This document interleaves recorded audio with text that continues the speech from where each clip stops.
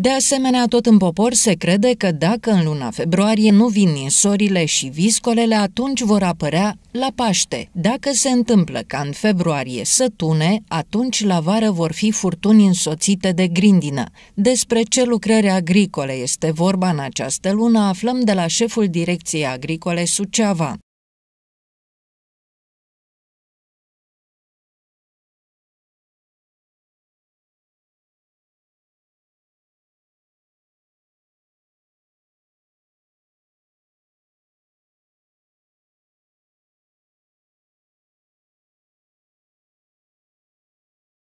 Pentru cei care au solare, în luna februarie se produc răsadurile și se pregătește materialul de plantare pentru culturile timpurii, ridic, spanac, salată, varză, timpurie și altele. De asemenea, legumicultorii pot să înceapă plantatul tomatelor și ardeiului pentru cultura forțată. Cât îi privește pe viticultori, aceștia își procură acum materialul necesar pentru mijloacele de susținere, pesticidele, îngrășămintele chimice, material delegat, se repară uneltele și aparatura, iar la finele lunii februarie se începe tăiatul viței de vie dacă temperatura nu este mai mică de 5 grade Celsius. Pomicultorii vor executa tăieri de fructificare la speciile de sămânțoase dacă vremea le permite. În zilele cu temperatură de 3-4 grade Celsius se stropesc toate speciile de pom fructiferi. Primele două tratamente de iarnă se fac la un interval de cel puțin 10 zile. Se înlătură prin tăiere